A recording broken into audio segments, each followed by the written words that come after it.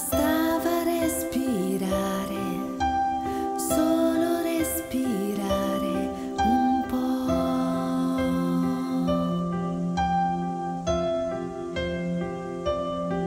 Fino a riprendersi ogni battito e non cercare l'attimo per andar via, non andare via.